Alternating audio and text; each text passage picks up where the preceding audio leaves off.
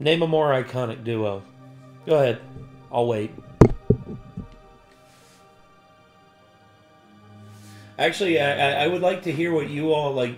Uh, you all consider an iconic duo in the comments section down below. I'd love to hear what you all have to say because, for me, growing up and only only being able to watch a lot of cartoon reruns uh, because of um, where I lived, we had a we originally we didn't have cable, and we we basically had old VHS tapes that had stuff recorded onto them, and um, there were I believe around ten or twelve Tom and Jerry uh, tapes that were just filled with old Tom and Jerry episodes.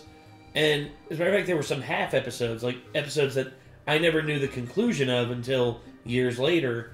And whenever me and my family would watch Tom and Jerry, I would always laugh, like laugh uncontrollably because of just because of how iconic Tom and Jerry was. And at the time, I didn't realize just how great it was. Yeah, it's like because I was a dumb kid. It's like slapstick. yeah, but instead, dude, Tom and Jerry, way like just way above like its its weight in terms of its overall impact that it had on the animation industry. And not only that, but also it was worked on by multiple different studios. Because I remember there was an era of Tom and Jerry where it was done by Tex Avery. Then there was an era where it was done by Chuck Jones. Uh, gosh, there were like there were multiple eras of Tom and Jerry, and the less you say about the modern interpretations, the better. That does include the film in the '90s, which, even as a kid, I still thought that was an awful film. And then there was the uh, Tom and Jerry movie that came out not too long ago that had Chloe Grace Moretz in it, and all I'm gonna say is does the neuralizer from Men in Black exist so I can like neuralize myself to forget that that film even exists? Ugh. So Doug, aka the Nostalgia Critic, has done a top 10 Tom and Jerry episodes and I guess I'm to check it out, see what kind of uh see what kind of craziness Doug brings up. I mean, I hope that he brings up some of uh, my favorites and uh, I hope, and also I hope that uh, like if there's some here that I'm not aware of, which I'm pretty sure I've seen every Tom and Jerry cartoon there is out there, but if I see one here that I don't recognize, I'm definitely gonna have to check it out. But anyway, let's go ahead and get this up on screen. This is the top 11 Tom and Jerry episodes according to the Nostalgia Critic. Here we go.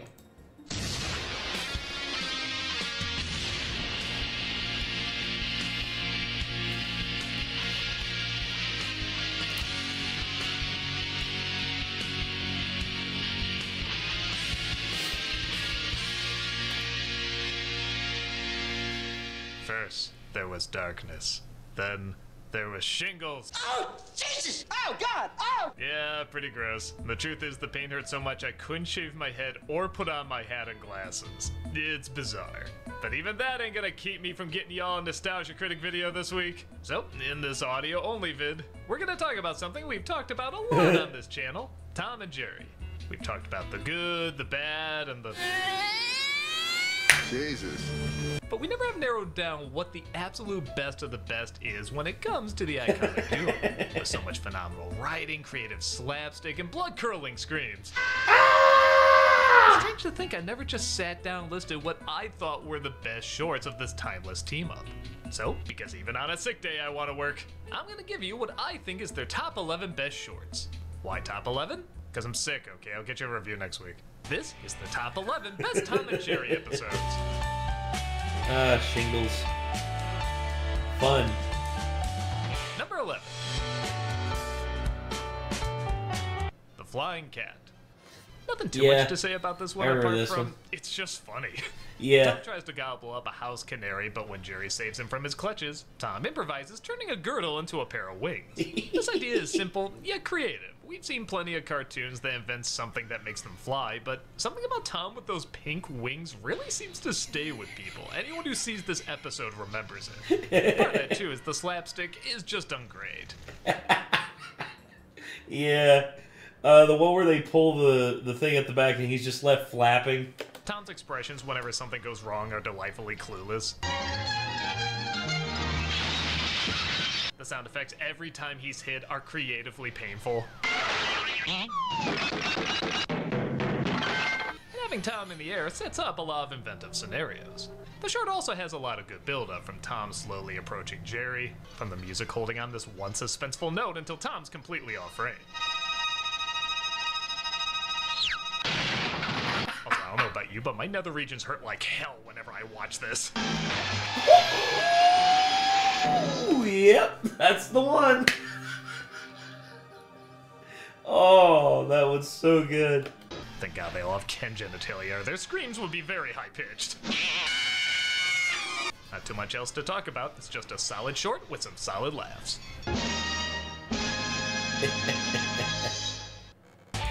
That's a classic.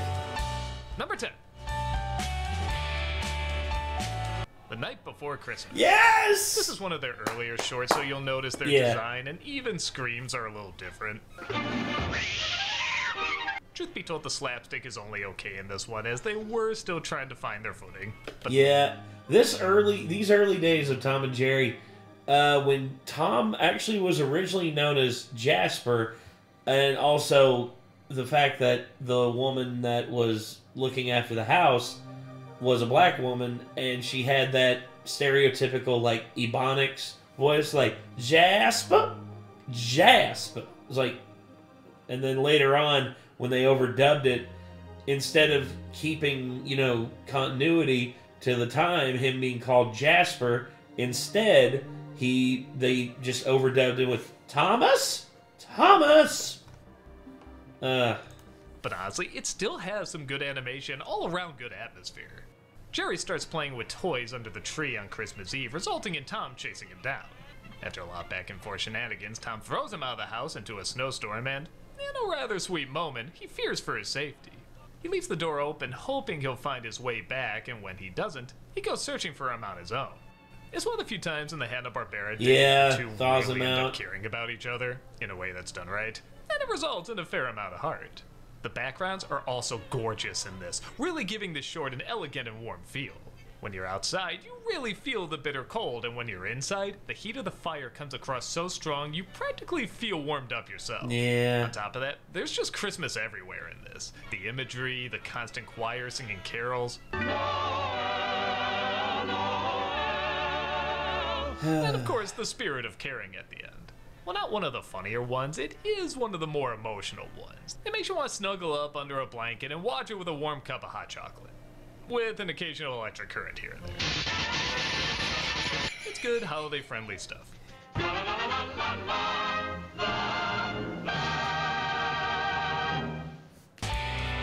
that's a good one. Number 9 Dr. Jekyll and Mr. Mouse. Oh yes. Oh, uh, so many memes. This one certainly dives into so many memes from this one. oh god. His tropes that were so popular at the time. Jerry keeps stealing Tom's milk no matter how many times he hides it. Tom gets his revenge though by putting in, I don't know, chemicals that aren't that different from what we put in milk, resulting in, Ouch. weirdly enough, the opposite reaction. Jerry becomes stronger than ever, but it has a limited lifespan, meaning he has to keep juicing in order to keep kicking Tom's ass. In a nice twist, Jerry makes the same concoction, but when Tom steals it and drinks it, it has the same effect, making him the size Jerry was when he took it. In fact, it works too well, making him smaller and smaller to where Jerry can whoop him without the milkroids. On top of the slapstick being on point, there's a ton of fun little details. As mentioned before, there's a lot of trademarks of old mad scientists and monster movies incorporating The the shadow in the background. You know that that's such a classic. a lot of shadow work, puffs of smoke with bubbling liquids, Yes. Bubbles and inventive transformations. All they have to do is make Jerry drink this stuff and grow muscles. But instead, he goes through this weird process that's like starting up a car with an engine that's about to explode. And then the engine works too The well. way Jerry walks with the slow musical score is very reminiscent of giant, towering threats walking slowly towards their prey. Only in this case, it's funnier because he isn't towering over Tom at all.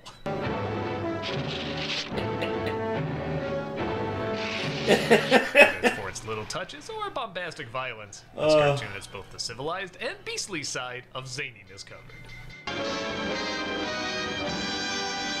So good. Excuse me. Jerry's cousin. Hey, This has to be one of my favorite Tom with the baby.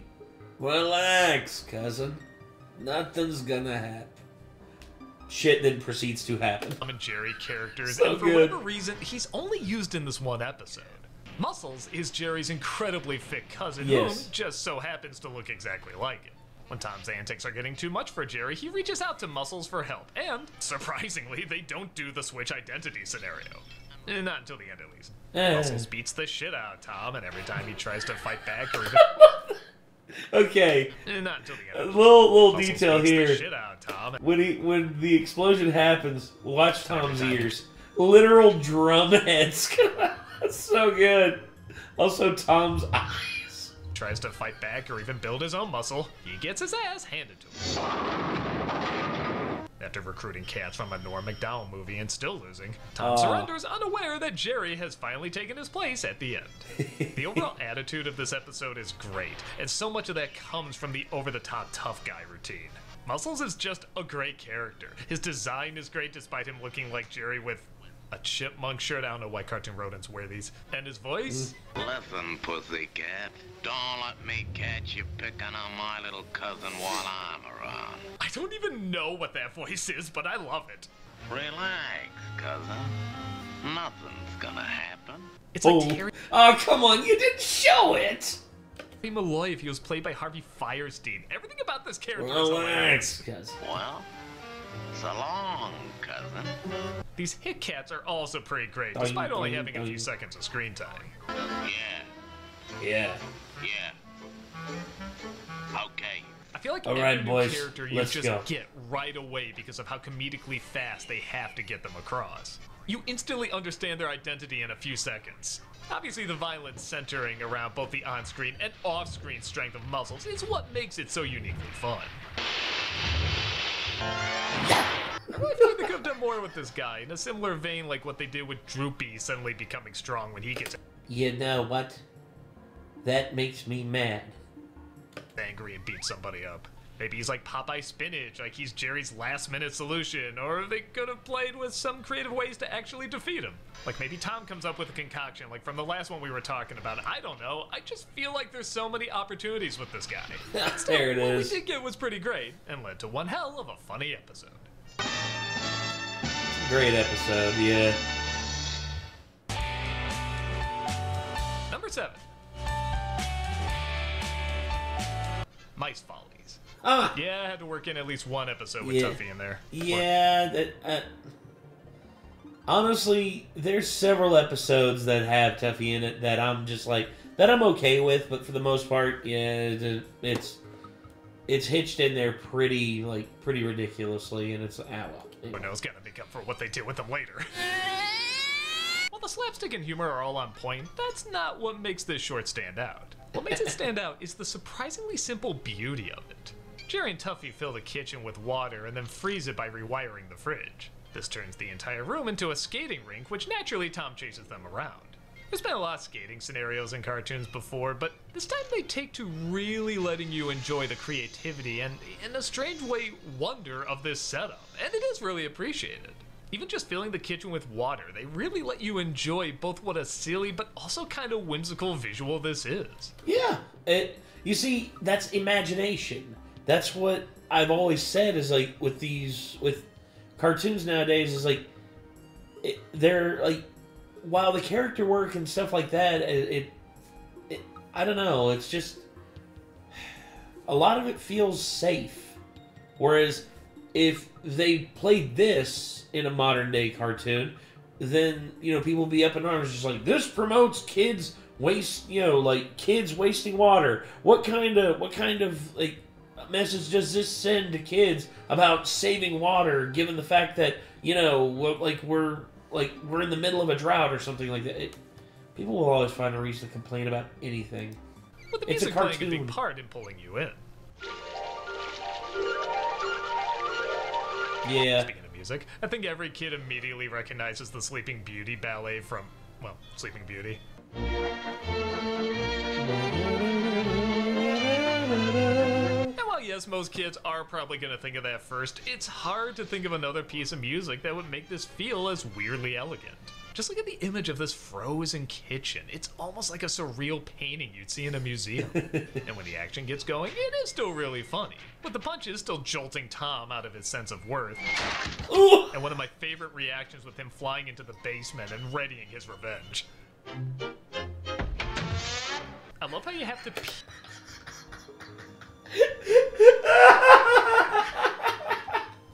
Oh gosh. Me after coming in after three hours of shoveling the damn driveway.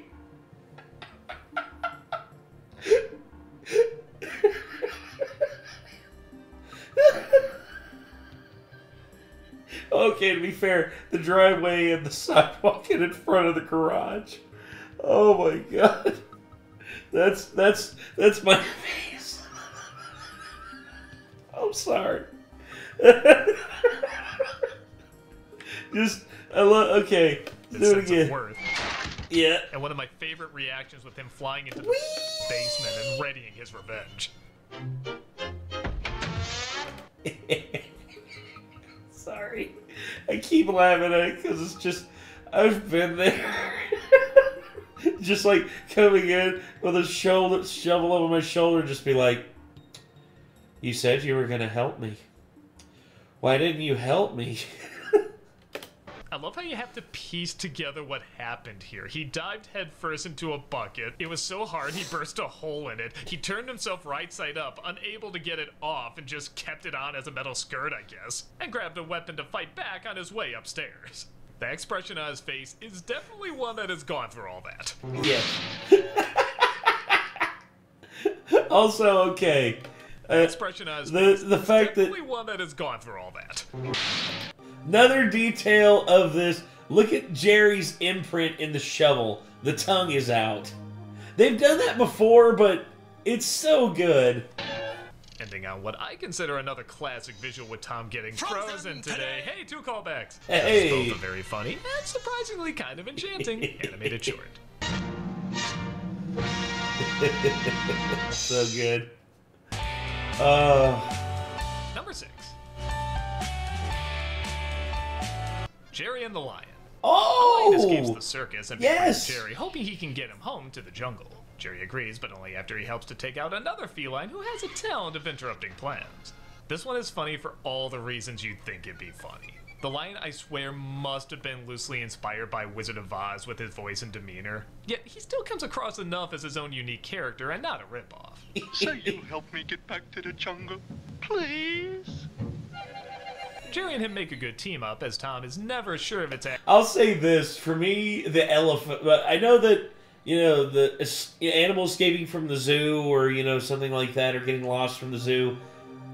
While I like this one, I also love the elephant one just a little bit more, and I, I think it's because of like the visuals of just the they because they transform the baby elephant into a giant mouse and whenever uh, Tom cat you know sees the giant mouse, the or sees like the elephant as the giant mouse, the baby elephant has his nose like wrapped up, his uh, like snout wrapped up in a ball, and he like he like blows out, and his nose comes out like a like a punching uh like a ah, what do they call that like a uh, it's like that uh, punching bag on the stick. You know, you, you push it and it, like the punching bag goes out. Basically, like one of those and just pong right in Tom's face. It's so good. It's almost like the Chuck Norris bit from Family Guy. It's like they say that Chuck Norris does not have a beard. They say that under Chuck Norris's beard there was not a chin. There was only another fist. That's ridiculous. Chuck Norris? Actually, a lion So in this good. house, or if Jerry somehow became miraculously strong. He has a lot of classic staples you'd associate with the best Tom and Jerry jokes, like Tom holding his chin out, defiantly urging to be hit, only to get exactly what he asked for. How can you not laugh at that face of undiluted cockiness just begging to be obliterated? It plays in proportions, surprising both the foil and the audience. And it has one of the funniest combinations of Tom's scream when he thinks he's cornered Jerry in a closet, not knowing the lion is even with him. Oh. That first initial smack sounds so surprised, let down, and painful all in one grunt. it ends with Jerry putting the lion on a boat to Africa, and though brief, you do feel a legit friendship between these two as, once again, the beautiful background and somber music leaves us on a bittersweet but still kinda nice moment. Yeah. Goodbye. Goodbye, pal. So long. It's a funny short with a good friendship, great timing, and a whole bunch of hilarious yells.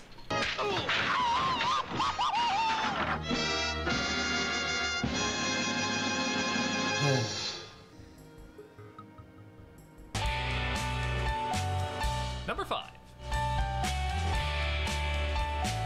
Heavenly Puss. This Oh is probably one of no. the darkest episodes. Yeah, dude. Real? Okay. I mean, I could see putting this up here because there's some existential stuff that they cover in this, and it's it. It literally opens with Tom dying and going to heaven, being told that if he doesn't get forgiveness from the one he wronged, being Jerry, he'll burn in hell for all eternity. This could be played for laughs, and in much of the cartoon it is, but there's also a lot of heavy and even disturbing moments. Probably the most unsettling one being a bag of drowned kittens making their way to the pearl. Oh yeah. When I was a kid, I didn't get that. As an adult, oh Jesus Christ. Oh. How someone has the, the cold-heartedness to do that blows me away. It really does. I. Oh God. If I ever came across someone doing that, it would take a lot of like willpower to not beat them within an inch of their life. Because how the fuck dare you? pearly gates. What some people won't do. God damn, Tom and Jerry. It even ends with Tom not making it in time and going to hell. This short ain't fooling around. Well, actually it is. It was all a dream. But Yeah. still, if you're a kid watching, this isn't the usual fare you'd expect out of Tom and Jerry. Hurry, Tom. Hurry. It does result in a nice enough ending, and of course there are the usual follies, but there's also a little bit more weight to this one. Yeah. There's a legit sense of dread, hoping Tom gets Jerry's forgiveness while hopping through a series of what should be simple hoops, like Jerry not believing him or even just a pen not working. But in the moment, these seconds are literally defining his life. The fact that it does take a more somber tone is interesting, though. Even this train conductor doesn't really have a silly or zany voice. It's He's more of a kind, elderly angel who really wants Tom to succeed, but knows he had several chances while he was living as well. Uh, with a record like that, I can't let you through. I'm sorry, Tom. If you can obtain the signature of that little mouse, you will be permitted to pass. It's a different kind of feel, but it is still Tom and Jerry. And despite it getting so heavy, it never quite loses track of that. If you haven't checked this one out, there's a sure chance in hell you'll find it interesting. Yeah.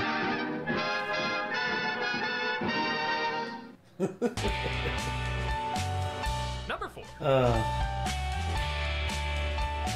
Mouse in Manhattan. Ah, This is another one that yes. relies less on slapstick and more on atmosphere. Yes. Jerry decides he's done fighting with Tom in the middle of nowhere and makes his way to the big city, only to find out it's not everything it's cracked up No. to be.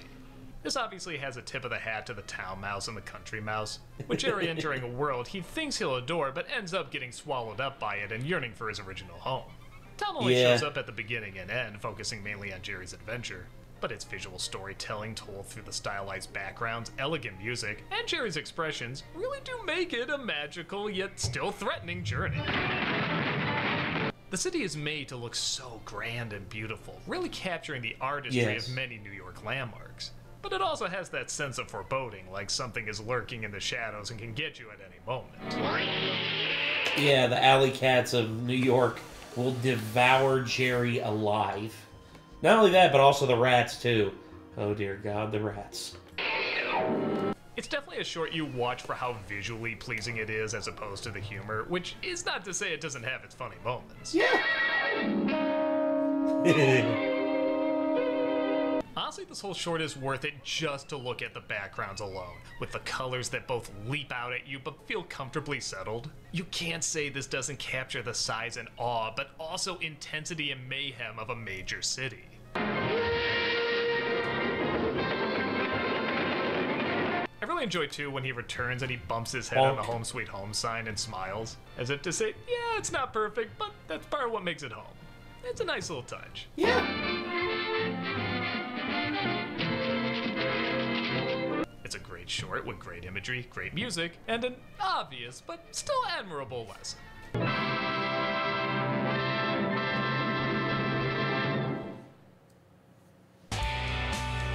Yep. Doug hasn't put like uh, there's several on here or several that I haven't seen yet that just I don't know. I I really wish that I, I'm- I'm hoping that I see some that I that I hold in high esteem because I know that the billiards episode is really good. The uh, the the cat and mouse war episode was really good. Oh, that's Nick. He's probably up there. I don't know what he's doing, but he's doing something because he's moving around. And then, of course, there's uh, some of the Mouseketeer episodes. Uh, at least, at least one or two of the Mouseketeer episodes, like the one where Tom literally at the end of it gets his gets gets his head cut off. Yeah, he gets decapitated. Sad. But hey, it's a cartoon. Number three Cat Concerto. Oh, this one. Okay, I'm glad that this one's on here because the. oh gosh, so good. the Tom and Jerry cartoon that won them an Academy Award. Yep. And not without controversy. We'll get to that in a bit. The setup once again is very simple. Tom is playing Hungarian Rhapsody for a packed house, but Jerry lives inside the piano and starts messing up his performance due to Tom interrupting his nap. This is one where the timing and music take center stage. The way they take this piece of music and animate it to comedic violence goes hand in mouse Well, technically, it's Hungarian Hungarian Rhapsody number two. Uh, I mean, trap.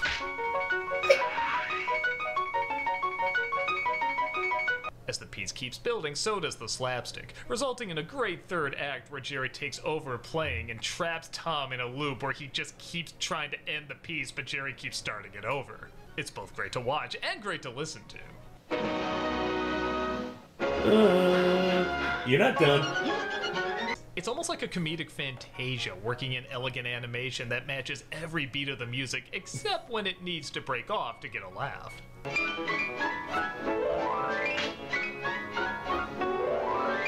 If you want proof of how well So this is done, look at another short that was nominated the same year for an Academy Award with the exact same premise but from a different studio Rhapsody Rabbit.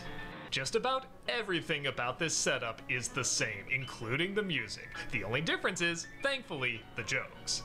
To this day, nobody knows if this was plagiarism or coincidence. And while neither director accused the other of thievery, Joseph Barbera did famously bring up that Tom and Jerry fighting this scenario makes sense. But what's a rabbit doing with a mouse? That's a good question. That's a really good question. oh, I'm not one to fuel controversy. Okay, sometimes I am. I'm not one to like ca- cast stones at like you know ghosts of the past because you know this is you know this is you know something that yeah everyone involved in this is dead, literally. I think Yes, everyone involved in this is dead. So yeah. Anyway, There's a good video by Toon Raider discussing the controversy you should check out, and while I do like Rhapsody Rabbit a lot, there's no contest. Cat Concerto is definitely done better. Yes. The jokes feel more natural and organic, not just with the cat and mouse team up, but also in the way they're naturally structured and build upon each other. Bugs Bunny ends with the mouse pulling out a mini piano to best him. It's not nearly as clever as Jerry forcing Tom to play the finale over and over to death just because it's artistically pleasing. it's amazing music and amazing animation with an amazing coincidence.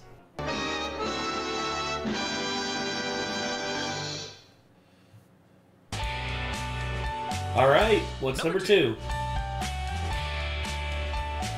Saturday Evening Puss. So we're just done with phrasing, right? That's not a thing anymore. Damn it! Of course. Uh. Okay. So here's the thing. I've done that joke multiple times in our gaming videos. Multiple times. Damn it, Archer. This one's almost number one for me, but the top spot is just a little bit better. That's just to give you an idea about how absolutely hilarious this is. Again, kinda depending on which one you see. Again, we'll get to that in a bit. Tom's owner goes out for the night, allowing him to throw a party, once again waking up Jerry from his slumber. Obviously, he tries to put a stop to the noise, and hijinks ensue. The zany imagery, slapstick, and voice acting all take center stage. Not only do they find clever ways to play instruments that aren't normally instruments, as well as visually show how Jerry is being driven nuts by all of it. But we get to hear some of the funniest gibberish out of Jerry.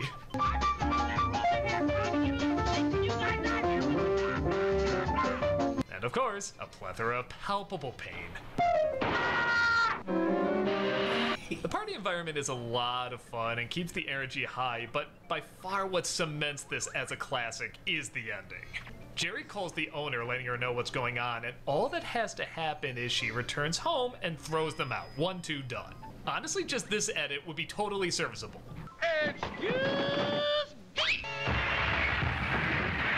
But that's not what happens. This is a joke that builds upon itself so much, I actually have to count the layers to it. There's her getting a call and rushing out. There's her running so fast she makes a car engine noise. Arriving so pissed she doesn't burst through the door, but rather with the door. There's Tom and the others so clueless they just open the door like any other guest. There's the combination of her reaction and their reaction. Thomas! There's Tom trying to close the door thinking that'll save him. There's the owner so filled with anger that the door breaks through her arm. There's her arm stopping Tom from leaving. There's a massacre she's unloading on them that's so big you can see it from far away. There's them getting kicked out of the house. And finally, there's them getting hit so hard they form a totem pole. That's a lot. Yeah. That version is far superior than the, the other one. Been layers of comedy in a span of 20 seconds. Goddamn phenomenal. Yes. And the sad thing is, this isn't the ending everybody sees. Okay, it's hard to sum up quickly, but Tom's owner is a racial caricature of the time. Hell, her name is Mammy Two Shoes.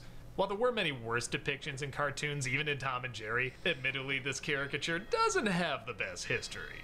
So in the 60s, they replaced her with a white girl. And I do mean girl. She looks like the babysitter from another Tom and Jerry cartoon. And they switched out the voice with, I think, June Foray. And by God, even though I love June Foray, this is just not as funny. If you want something really confusing, I remember seeing a version of this where it's the white girl with the black woman's voice. A party? At my house? Oh. Oh god, whoever didn't fix that audio is probably fired. Also, yeah, the Mammy Two Shoes. Oh god. Look, I'm not gonna sit here and I'm not gonna defend s- caricatures that offend people, but at the same time, here's what I would ask: the people that it's supposed to offend, if they are offended by it, then okay. But if you are a person who is looking at this from a point of where you're just like staring at this and you're getting pissed off on someone else's behalf, there's a problem. There's a big problem with that. But my whole deal is just if, you know, the people the people who would be offended by that watch this and are offended by it. Yeah, there you go. But yeah, I I can see problems with it if you know if, if you know there are people who are upset with it. You know, like the people who it's supposed to offend are offended by it. But at the end of the day, the comedy with that version just works so much better. It does. I mean, there's no getting around it. The comedy in that version just works so much better. Holy shit. Anyway, Yeah, it was bizarre. The original voice of Tom's owner is Lillian Randolph. You may remember from It's a Wonderful Life. Years later, Whoopi Goldberg did a really great DVD introduction talking about why erasing her performance, though a caricature, was not the right way to go about it. I definitely recommend checking that out if you haven't before. Removing Mammy Two Shoes from this collection would be the same as pretending that she never existed. A part of our history that cannot and should not be ignored. I'm I agree. Here's the thing how do we prevent this from happening again? By accepting its existence, learning from the mistakes, and moving forward as a society. That is what it's supposed to be. However, unfortunately, that's not the that's not the Kool-Aid everyone's drinking nowadays. definitely not going to pretend I'm an expert in what's ethically right in all this, but I will say Randolph's acting is 10 times funnier. And not because of any stereotyping, but because she made us identify with the anger anyone would have had there. Whatever version you see, this has some of the funniest stuff in any Tom and Jerry cartoon. It's zany, violent, musical, imaginative, and with an 11 layer joke, how can that not be high up on a top 11 list?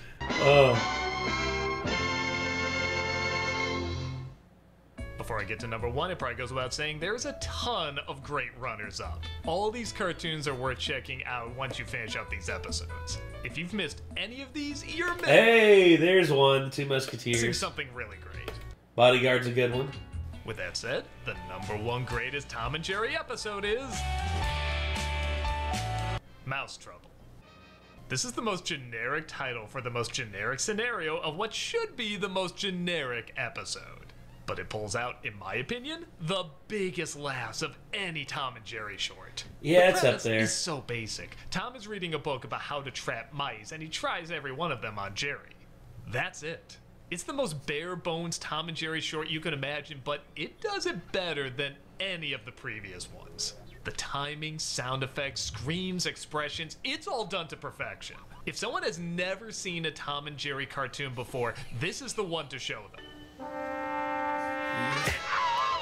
One of the best and strangest running jokes started in this one. When the book says a corner mouse never fights and Tom gets beaten up, he says, Don't you believe it? Why did he say it like that? This is a character that barely talks, and out of nowhere, they make him sound like a drunk demon for no reason. It's so strange and random, it feels like a Ren and Stimpy joke. Recognize this meme? It also comes from here. To Yeah, that's classic. make it funnier, when the gun goes off, he spends the rest of his time with this red toupee. Yeah. That could work for just the next cutaway joke, but he keeps it throughout the entire thing. That's dedication. The sound editing is some of the best in any of these cartoons, like when he tries to lure Jerry into his mouth with this wind up toy.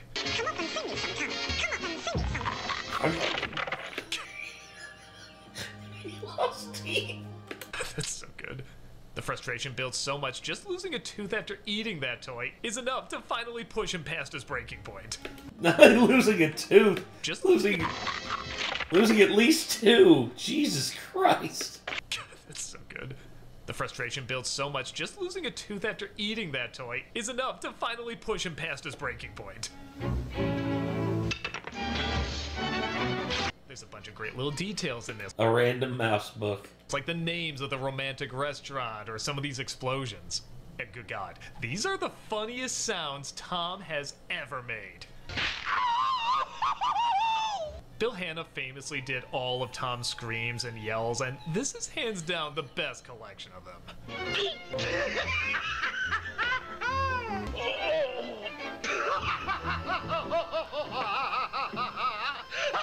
also has, in my opinion, the funniest Tom yell of all time. It's when he sets up a bear trap only to have Jerry place it behind him. And the best thing is, it's broken up into two parts.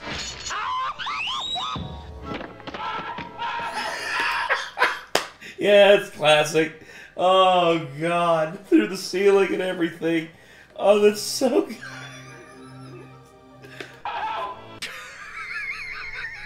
yeah, see? Even Doug can't help it. Oh, that's so good. Oh my shit. There is so much pain in that yell, and the muffle heard through the wall while he's still clearly Oh, oh, That thing. I'm sorry.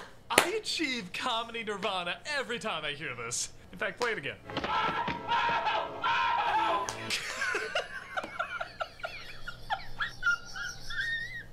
you can't get like. I relate. I relate, Doug. That's a good one. That's a great. That's a great bit. Oh my god. In a bottle, but man, you can record pure in a moment, and this is that moment.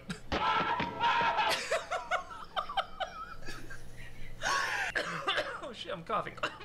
what can I say? This is Tom and Jerry. It's everything Tom and Jerry Ugh. is. Just a cat trying to catch a mouse. Done to perfection. There's others that are more artistically pleasing or reveal more character or tell a little bit more of a story, but if you were to say point to the best Tom and Jerry cartoon, the funniest one that also sums up exactly what it is at its core, this has to be my number one choice. It's hilarious. That's a good number it's one hilarious. choice. God damn it, it's hilarious. It is absolute perfection. It's a good number one choice.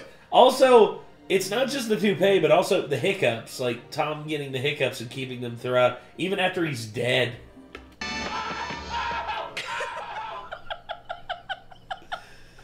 With that said, humor is subjective, so do you agree with my list? If not, what are your all time favorite Tom and Jerry cartoons? What are some of your favorite all time Tom and Jerry moments? Let me know in the comments down below and keep reminding people why this iconic duo is still so goddamn funny. It is. Uh oh. I'm a nostalgia critic, and I'll be better next week. One more time. Ah! Jesus! Oh, God! So long, cousin. Oh god. Okay. I need to find that one. Let's see that one cartoon. Let's see. Tom and Jerry.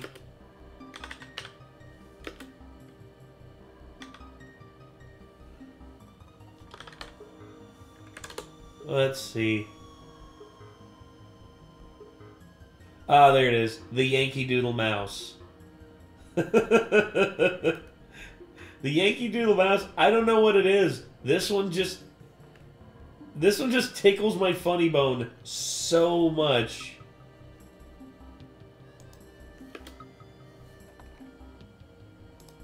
Let's see. Academy Award winner of 1940. Did this one win? Wait. Yeah, Cat Reach Shelter. That's it. That's literally it right there.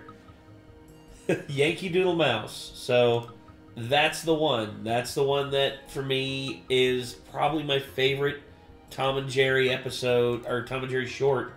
Uh, did he have that in his honorable mentions? Let's see. Let's see. I think he did. I think it was there. Let me just make doubly sure before. So, cat napping, trap happy, truce hurts, the little orphan, hiccup pup, two musketeers, bodyguard. No, Doug didn't even have it in his honorable mentions. Jesus, that one surpri- that surprises me because for me, uh, in terms of uh, some slapstick, in terms of like for me the best slapstick I've seen from Tom and Jerry, uh, Yankee Doodle Mouse is is the best. I mean, God, dude, I- just have so many great memories of this of this episode, and I would love to. I would love to go back and watch a lot of the older Tom and Jerry, uh, Tom and Jerry uh, shorts and everything, because they're just timeless, dude. They're just so classic. Yeah, Yankee Doodle Mouse. See, animated Technicolor. Oh gosh. wow. Okay, so Ray Pat. Oh, Ray Patterson. First short to be animated by Ray Patterson, who arrived from Screen Gems. Patterson would work for the. Wow. Okay. Did not know that.